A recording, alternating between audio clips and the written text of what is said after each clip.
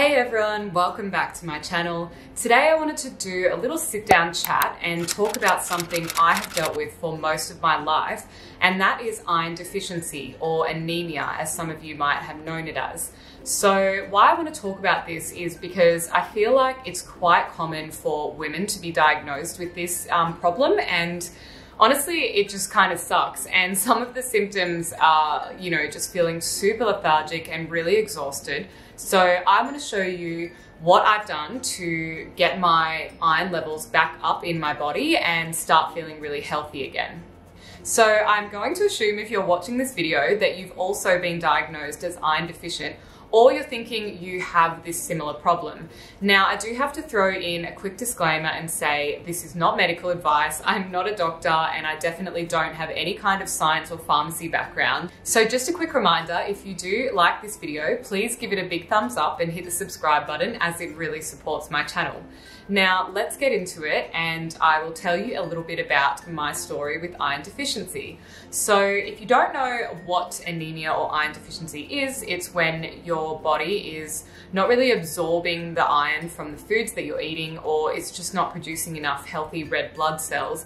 And that can lead to some pretty shitty symptoms like you know, fatigue and nausea or feeling shortness of breath in some extreme cases. So for me, I found out because I actually always felt really, really exhausted and I was kind of getting some pins and needles and like numbness in my legs and having difficulty sleeping. And then at one stage, my office building had some stairs to like get up to my office and I actually felt completely out of breath and I go to the gym probably six days a week. So that is really unusual for me because I actually have a really good level of cardio fitness. So at that point, I went to my GP and I asked them, you know, what could be wrong. And she suggested to do a blood test. So I will say, obviously, first and foremost, always seek the advice from your doctor because if you just think you have these symptoms, you could be misdiagnosing yourself. So it's always best to just go in, get a blood test, and just see exactly what's going on for your body and for you. So I was found to have extremely low iron. I think my level was about five, which is in the red.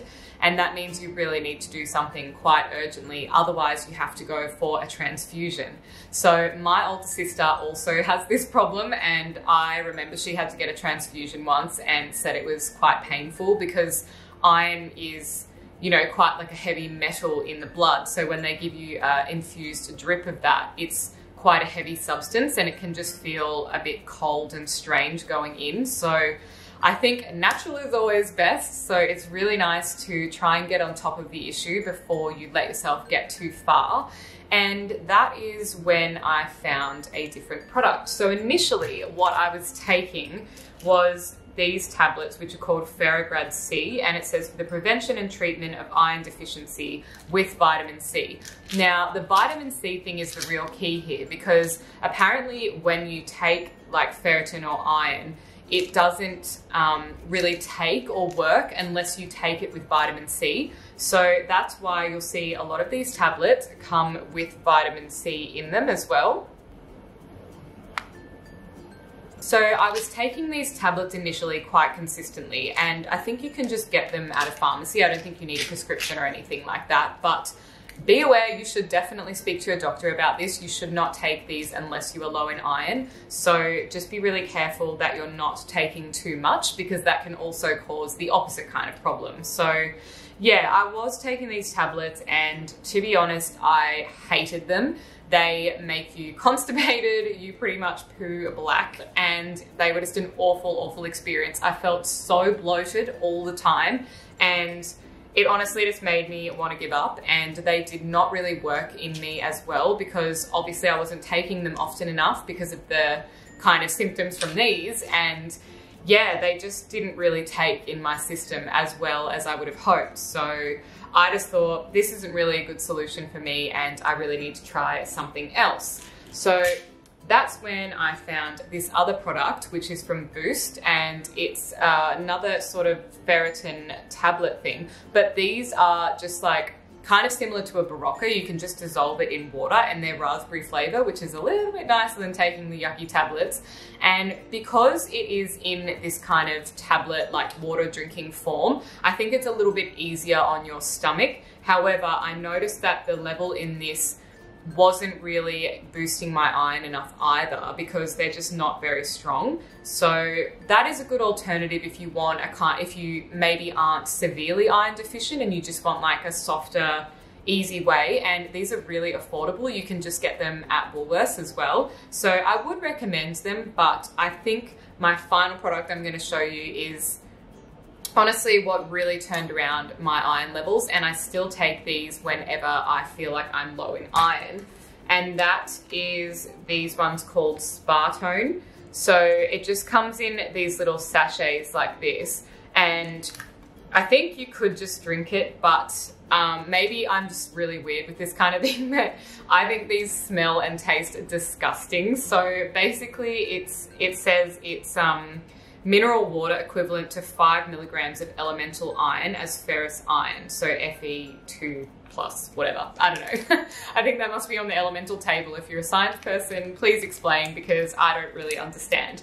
But basically it says you can have one to two sachets daily and I spoke to my GP about this and she recommended these and they are fucking brilliant. Honestly, they are incredible. I was putting two of these into the key ingredient, which is some vitamin C. So I just got an orange juice, doesn't really matter what kind of one you get, but obviously if you're a little bit more health conscious, you should try and find one with no added sugar or just get fresh squeezed orange juice if you can as well. And I just put two of these a day into some orange juice and had that. And then you can't taste the flavor at all. And that seriously, I think they come in a 14 uh, day package and a 28 day pack. And I would just get the 28 day one. So that's only two weeks. It does give you a little bit of bloating, but nowhere near what the tablets do. And that boosted my iron up so much. I think I did the 28 day 28 sachets, sorry, twice. So it took me a month to get through two packs of them. And I went back and had my blood test done again. And it, my level was like 50. Like I was well into the healthy range to the point where my GP advised that I no longer needed to take them. So I do know that because of the way my body works and just not absorbing iron in general, that it will kind of just dip again in the future. But the Spatone sachets have honestly just been such a game changer for me and I would literally recommend them to anyone. I just bought these myself at Chemist Warehouse. So I'm obviously Australian. That is a chemist uh, sort of chain that we have here, I guess. But I assume you could find them somewhere online because I think they're an international product anyway. But yeah, I just really wanted to jump on here and recommend these sachets to anyone that hasn't heard about them because I tell everybody, whenever someone says that they have an iron deficiency problem, I'm like, oh my God, get Spatone. Like they're just the best. They work so quickly and you just be feeling yourself again in no time because anyone who has kind of struggled with the symptoms of being iron deficient knows how much it can really affect your life because for me it meant I couldn't really train as hard as I wanted at the gym. I wasn't really sleeping properly and I just felt honestly exhausted. It, it, was really difficult to try and get out of bed in the morning, but taking those sachets has made it so much easier. Just being able to pop them in some orange juice and like I said, within two to four weeks, depending on how high you needed to get your levels back up to, I have really seen significant changes in those. And I honestly think it's because it's in a liquid form and not a tablet form. So it just kind of really absorbs better.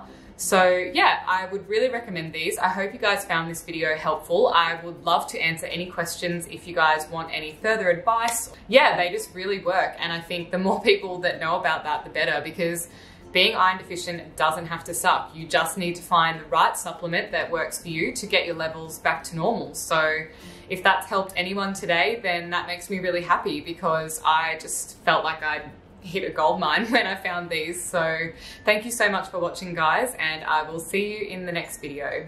Bye.